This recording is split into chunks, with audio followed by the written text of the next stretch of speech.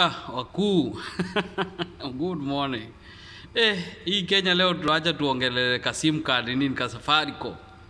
Venye tumetishiwa maisha yani hata hatupumui, mtu amesave tu pesa twake kwa M-Pesa, kwa Mshwari. Unakuja kutishiwa tena ati itafungwa. Si register mtaa watu wangu. Kwanza hizo vitisho zilianzanga huduma namba. Huduma namba, huduma namba tulitishiwa huku UAE yani tulienda kwa consult sijui embassy kuregister hiyo kitu. Eh, watu waliteseka na besti yangu alikuwa ananichapia ananiambia ni aje? Hautakubaliwa hata kufika Kenya kama hauna huduma namba. Ah, wengine wanasema ni 666 Kenya Kenya.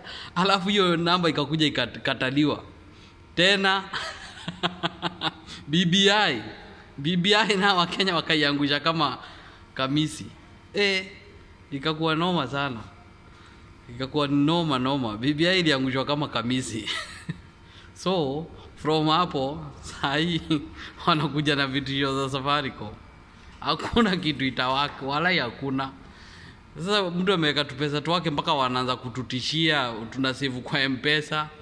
Ah, ashindwe sana. Sasa imagine ati tuko na siku nne simu kadi zifungwe hawezi kubali kufunga. Hao si wajinga.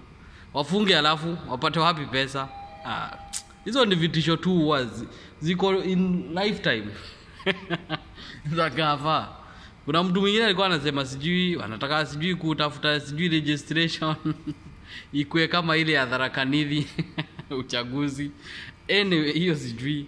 But hakuna watu wache kustuka. Hizo four days tutazigoja zitaisha zingine zikuje there is nothing will happen. Pesa zako ziko safe kwa mpesa na mshwari. So watu watulie waache mambo mingi. Hey, tupige story huku tiktok tukicheka tu dance tufanye kila kitu huku gaf. Hii gaf haitaki stress. Mara tunatishiwa mtaa familia ndio hizo. Nini? Sasa tu- tutapotelea wapi familia ndio hao wanataka pesa kila saa mara sijui eh, agado. Ah, watu watulie tucheze chini tu hakuna mambo mingi